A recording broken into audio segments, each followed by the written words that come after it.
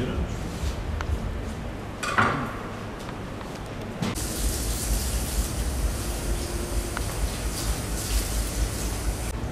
delikli gastronomi alalım. Buradan müslük olmaz.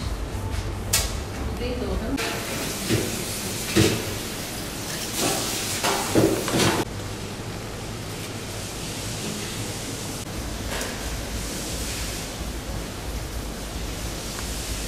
azıcık bir şey serpiştiler.